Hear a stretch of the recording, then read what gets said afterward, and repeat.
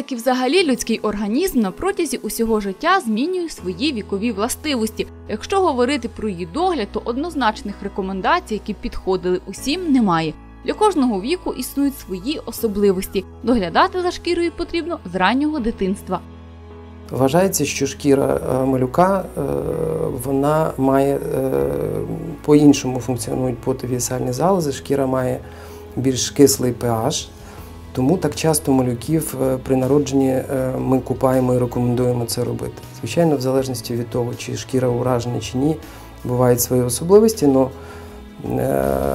завжди ми просимо батьків пам'ятати, що шкіра дітей вона має більш кисле середовище, тому дійсно потрібно їй допомагати щоденною гігієною. Завжди ми робимо ваночки. В більшості випадків, коли дитина маленька щодня. Коли шкіра здорова, туди додаються відвари трав. Якщо шкіра уражена, більш суха, має схильність до атопіки, ми просимо застосовувати ваночки з сімінами льда, льна з емальєнтами специфічними, даби її не пересушувати. Дитина зростає, у підлітковому віці починаються гормональні зміни. Сильні залози працюють більш інтенсивніше, на шкірі з'являються вугрі та різні подразнення. Для того, щоб шкіра була в нормальному стані, необхідно пам'ятати основні правила. По-перше, дуже часто підлітки чи з журналів, чи за порадою друзів намагаються не лікувати початок цієї хвороби, а замаскувати її. Починається використовування пудр, тональних кремів, які створюють ще більше проблеми, тому що закупорюють сальні залози і ще більше збільшують кількість цих вугрівих елементів.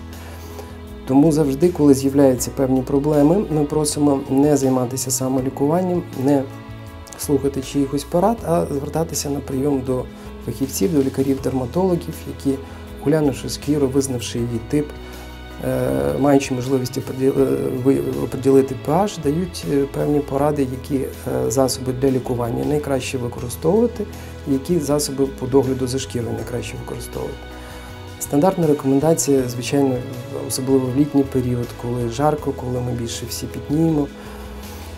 Всі намагаються підтримувати гігієну, щодня приймаючи душ чи ванну.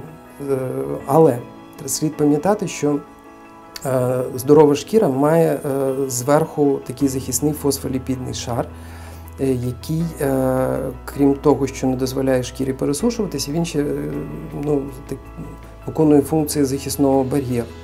При щоденному використанні агресивних миючих засобів, чи мила, чи гелі з неправильно підібраним pH, фосфоліпідний шар шкіри змивається, і вона стає набагато більш доступною для ураження мікроорганізмами, і стафілококами, і стрептококами, і живими грибами.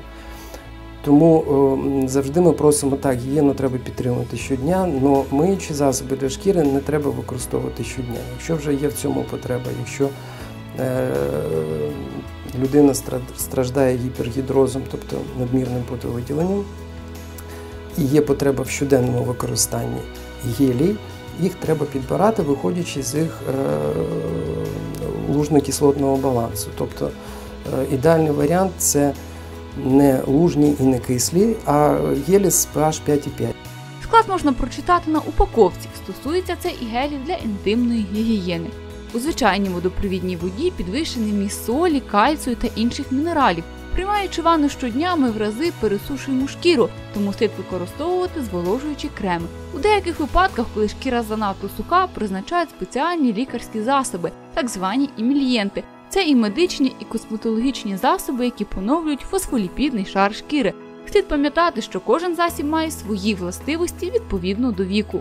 Коли е, жінка підбирає косметику в першу чергу для обличчя, для відкритих е, частей тіла, вона зараз випускається і варто за тим слідити, що для кожного віку вона є своя. 25 плюс, 35 плюс, 45, 60, 55, 60 і старше. Тобто краще використовувати саме ту косметику, яка створена саме для свого віку. Догляд залежить також і від типу шкіри. Якщо шкіра масна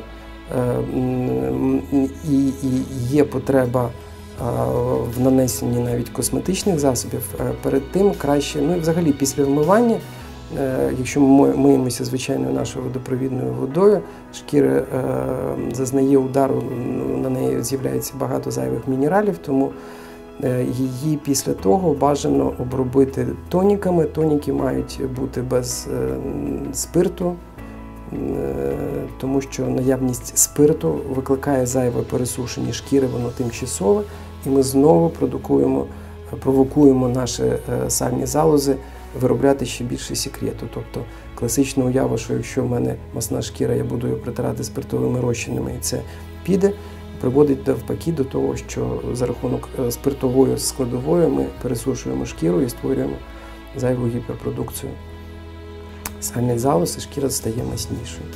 Люди, які мають сухий тип шкіри, схильні до розвитку атопії, тому цей тип є більш проблемний. За такою шкірою необхідно постійно доглядати, використовуючи емульєнти, зволожуючи спеціальні медичні засоби. Найпростіший догляд за комбінованим типом.